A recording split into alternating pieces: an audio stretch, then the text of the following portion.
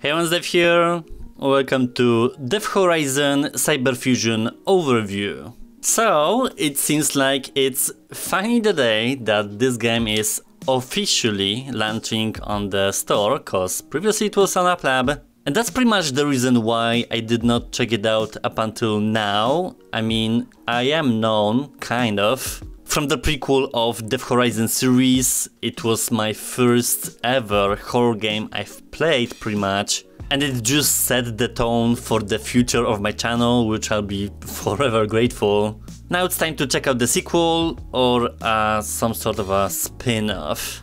So Death Horizon Cyberfusion is a physics-driven combat game where you're getting transported into the far future of cybernetic technology, fusing yourself with robotic attachments and body parts, and become a walking human destruction machine.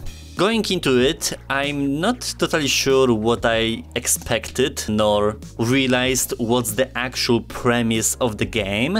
On the first glance, it appears to be a physics playground, then you have some roguelike mechanics with unlocks and maps being generated randomly. But then you have certain tasks to fulfill in certain sections, so it kinda takes a little bit of everything from every genre.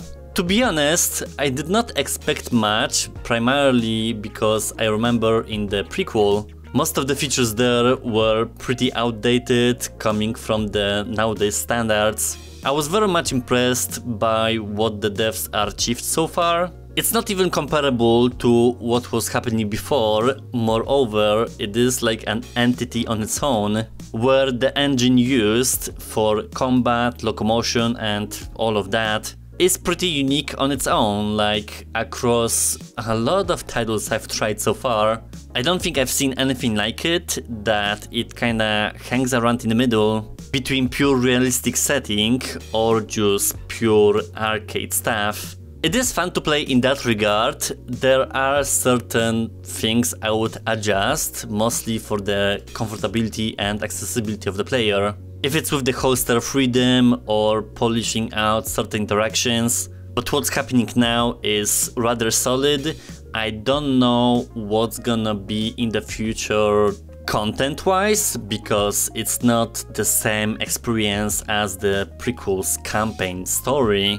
But I'll be on the lookout for the updates, maybe we'll do some gameplay clips, but it's nice to see the devs being back on board and that there is progress going on, which I always appreciate. Let's go step into the lab. Hello and welcome to Horizon Lab, the pinnacle of neural cybernetic enhancements. I'm Cynthia from the support team. I know that the first working day can be challenging, so I'll be helping you with the onboarding process. Looks snazzy. That's what I'm saying, like, old school developers know what's up with the resolution levels and just good texture quality. It's not that hard. But immediately I want to go to the options.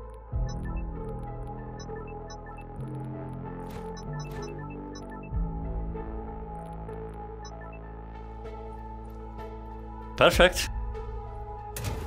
As you know, we in Horizon Lab believe that humanity's true potential can be unlocked with cybernetic enhancement. So let's start with upgrading your hands. Place both of your hands on these areas, firmly grip them, and hold them using the grab buttons. Oh, there's like a linear foveated rendering, even though the texture quality doesn't change. That's interesting. These modules will greatly increase your power. Go to the next room to see it in action. Every hand has its own statistics?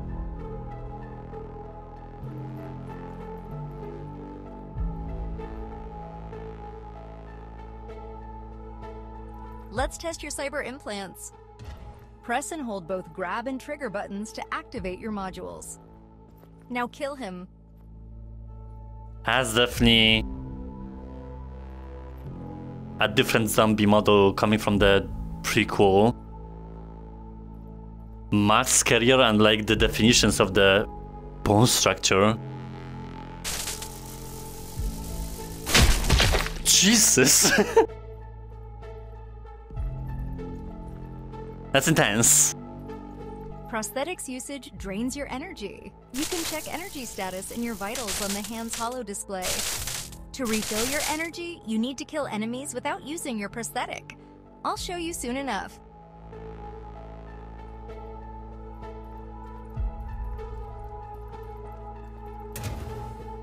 Your prosthetics are equipped with a magnetic pull module. Simply reach your hand towards the object, hold the grab button, and do a quick pulling motion. Don't forget to release the grab button and press it again to catch the object. That's very smooth. It's like day and night difference coming from the first game's physics engine.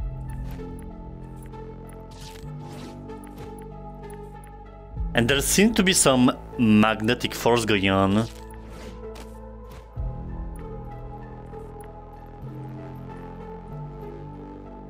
Oh.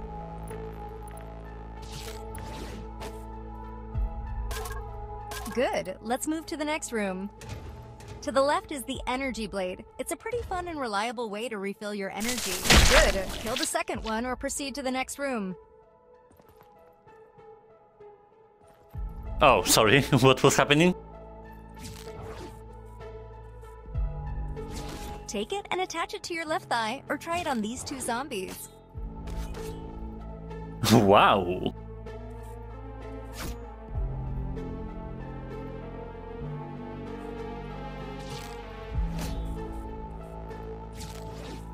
It seems like there's a delay between picking stuff as well.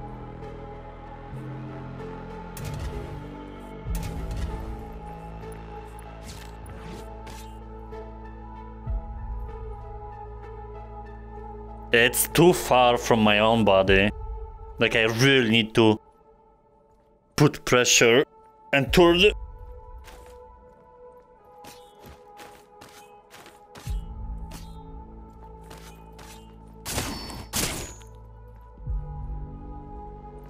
They all have the same structure though. Wonder if there will be more variety.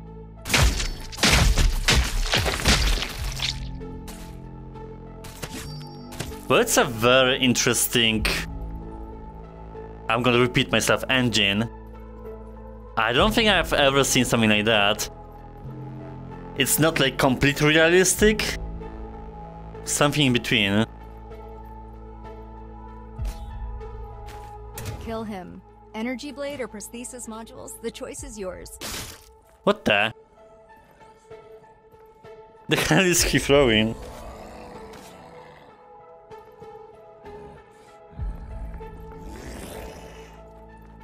That's also an interesting behavioral pattern. Nice job. Proceed to the next room.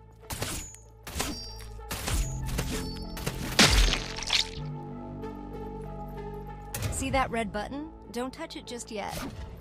It will spawn a deadly drone that will try to shoot you. Luckily, you have an energy blade that can deflect the projectiles. Also, you can press the right stick to give yourself a little dose of adrenaline. It will improve your reflexes.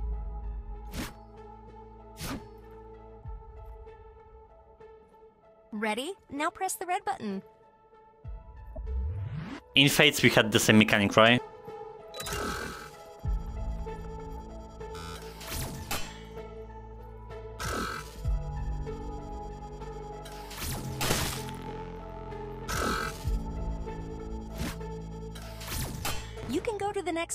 Stay here and practice a little more. That's fun. Congratulations, you've completed the tutorial and now you're a certified collector manager. It's time for your first real mission, but let's patch you up before that. Go to the nearest terminal, activate it, and use the syringe to heal yourself. Step into the elevator when you're ready. I'm impressed so far. Welcome to the exhibition. Here you can see our arsenal, cyber implants, and the enemies you might encounter. Take your time, and when you're ready, proceed to the door. Ew!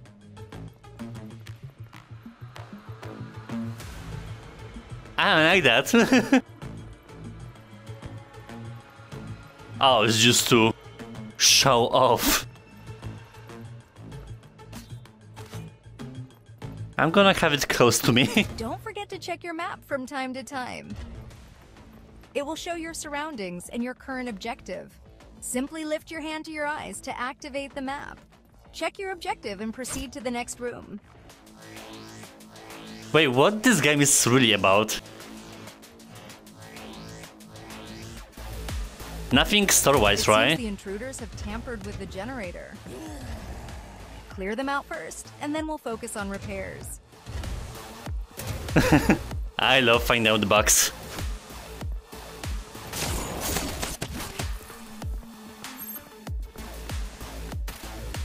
But I feel like throwing mechanic is not finished.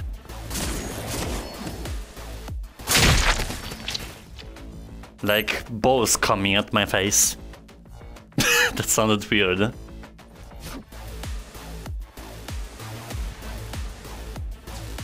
I can't put it on my right hip.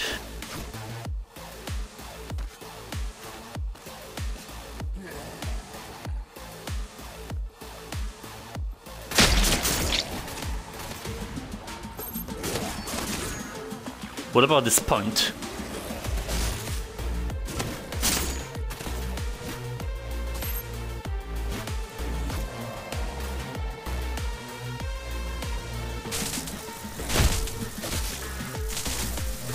Move on to repairs. One of the generator switches has been turned off. Find it and turn it back on.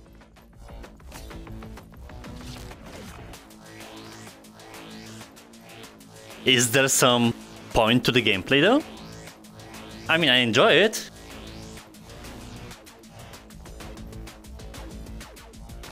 Perfect. The generator is working again. Our job here is done. Proceed to the next elevator. Just follow the yellow line on the floor. Shouldn't explain me the climbing and stuff.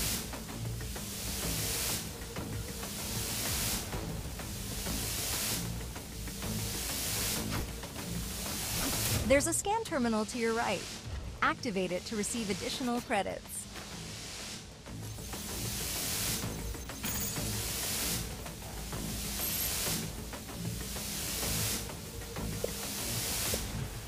A match.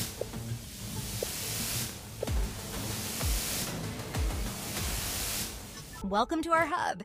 Here you can rest, change your prosthetic, or upgrade your equipment. Speaking of which, you have enough credits to buy a new weapon. Check out the store in the armory.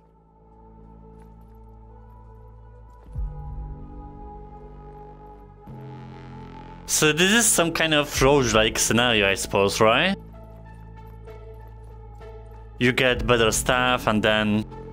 Here's how the equipment store works. First, use your pointer to click on the sidearm. Or simply pick it up with your hand.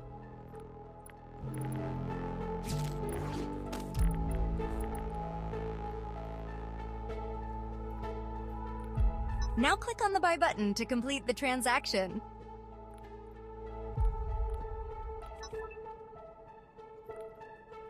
Take the gun from the wall.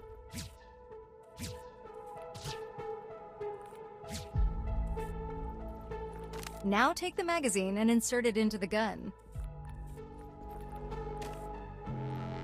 Now this part is important. You need to holster your weapon to update your loadout. Secure the gun on your right leg. That's it, now you're good to go. You can test your weapons at shooting range and in the training room. Additionally, you can test here any unlocked weapons and attachments, even if you don't own them yet. Just pick them from the wall and return them when you're done. And if you have weapons and attachments that you don't need right now, you can store them in the armory. Just place them on the wall to update your loadout. Take some time to practice, and when you're ready, enter the elevator to launch your next mission. Yeah, now I'm seeing, because specific weaponry is locked in certain holsters, so that's a first. And I'm not sure if it's the correct dynamic, but we shall see. I want no more combat because it felt very pleasant in general. And a of stuff will be unlocked.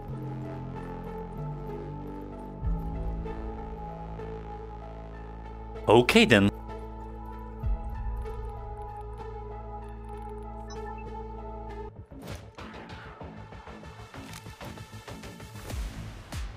What's the ammo situation?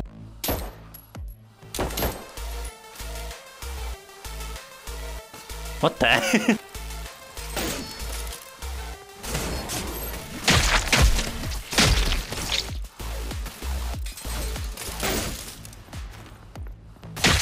discovering mechanics.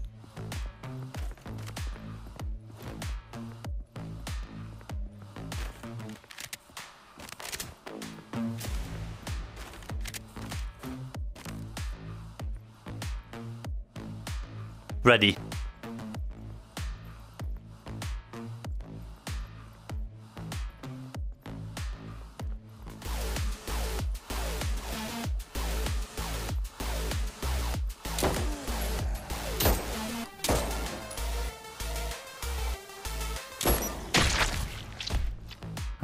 That's a weak spot actually.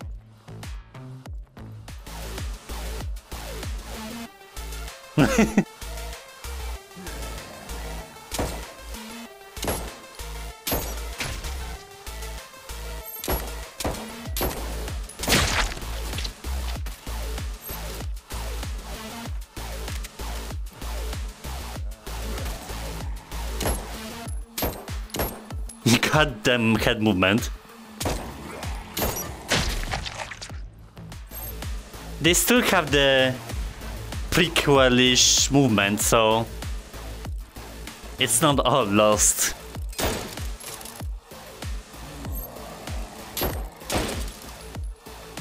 This fog?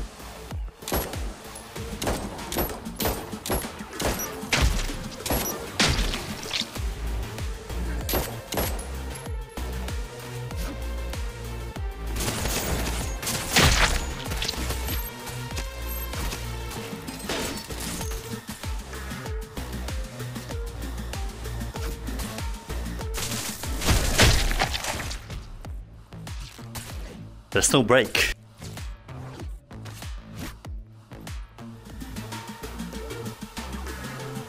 Where are they coming from?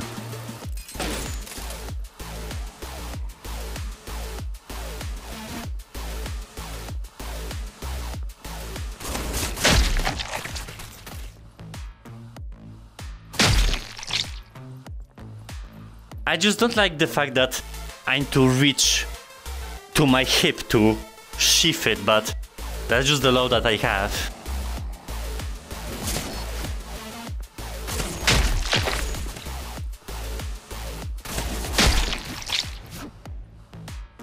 And the katana is much more efficient.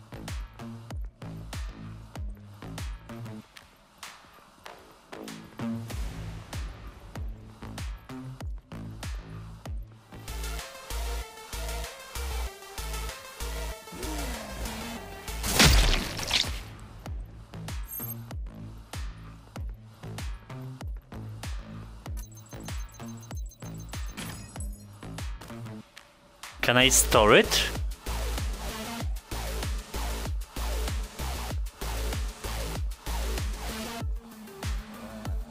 I don't think I have any bag or whatever.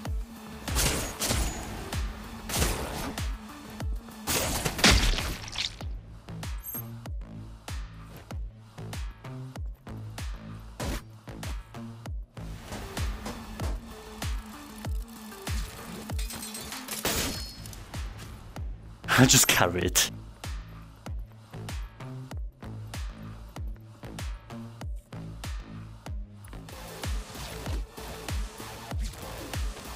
Ah, when you hold something, the map doesn't show.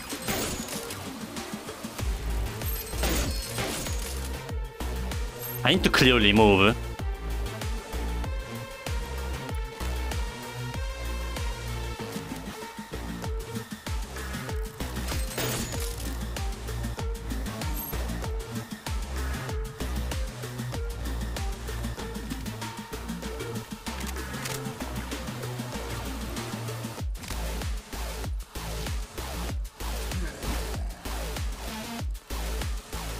I would really like to see the map though.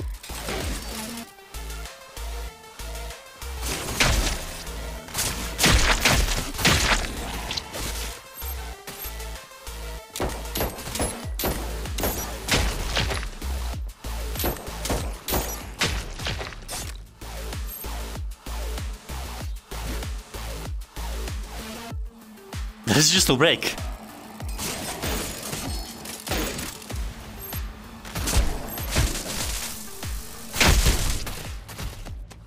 Overall, there's a lot going on in terms of the actual physics and like combat mechanics. It is heaps and valleys, an upgrade from the prequel experience, although in a completely different direction, I feel like.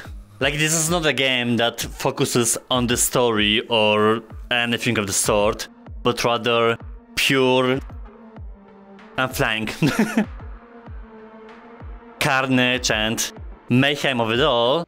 I don't know if it's necessarily something for me nowadays, but I do appreciate that the devs tried something different, but still a little bit in the same realm of Zombieland. This is one of a kind in terms of the features. I don't know what's necessarily the point besides the playground setting, though per usual, like with this series, I'll be on the lookout. Pay for wise, not totally sure, but we'll see.